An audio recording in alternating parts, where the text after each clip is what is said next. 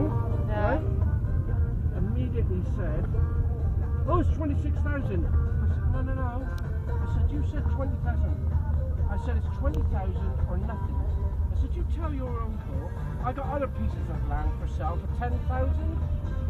And I said, you know, uh, I said, it's half the price of what your uncle's asking for. The, what, do you get the 6,000?